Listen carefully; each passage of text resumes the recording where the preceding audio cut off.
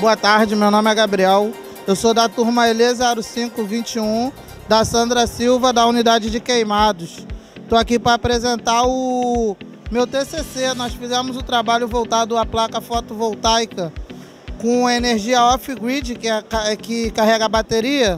Nós usamos esses cabos de 1,5, uma bateria e uma placa de 5 volts.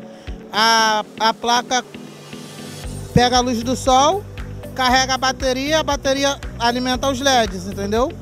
E também tem a energia off, é, um grid, que é que não precisa de bateria, que precisa apenas da, da energia da concessionária. O técnico vai fazer o cálculo de quanto de energia você usa e vai te, vai te fornecer a placa, entendeu? A placa vai carregar a sua casa.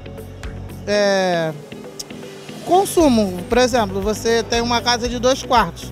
Ele vai te fornecer uma placa que consiga carregar uma bateria que vai te fornecer a energia necessária para você usar durante o dia e a, placa, e a bateria durante a noite, quando a placa não carrega.